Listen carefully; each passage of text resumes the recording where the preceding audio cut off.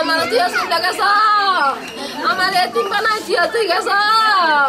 জন আসছিল একসাথে খেয়েও সাঁতার জানতো না। ওরা তিনজনই একসাথে পানিতে পুড়ে মারা গেছে। হসপিটাল থেকে ওদেরকে এখনও নিয়ে আসা হয় নাই।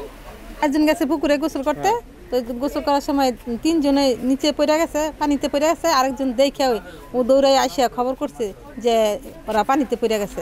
তার সাথে সাথে লোকজন গেছে গিয়া পরে উদ্ধার করছে উদ্ধার করে দেখে যে হ্যাঁ, অবস্থা খুব খারাপ শোচনীয় তাই হাসপাতাল নিয়ে গেছে। হাসপাতাল নিচে পরে মৃত্যু ঘোষণা করছে।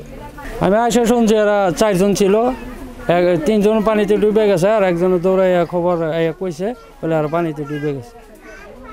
আমি তাই শুনছি, ও এরপরে মেডিকেল নিয়ে গেছে। মেডিকেল থেকে কিছুক্ষণ পরে খবর আইছে, মারা গেছে। তা সাড়ে বারোটার দিকে ওরা চারজন গোসল করতে গেছিল পুকুরের মধ্যে।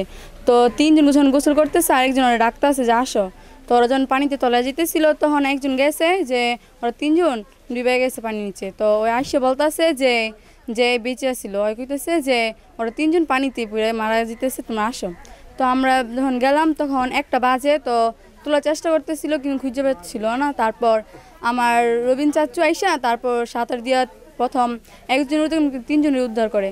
তো আমার আব্বুরও নিয়ে হসপিটাল গেল। তো কিছুক্ষণ পর ঘোষণা করল যারা মারা গেছে।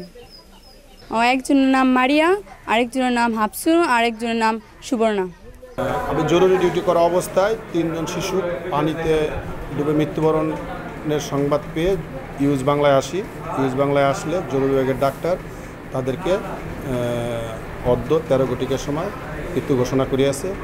এই ব্যাপারে আমার উদ্যতন অফিসারের নির্দেশ করবে পরবর্তী ব্যবস্থা পরীক্ষা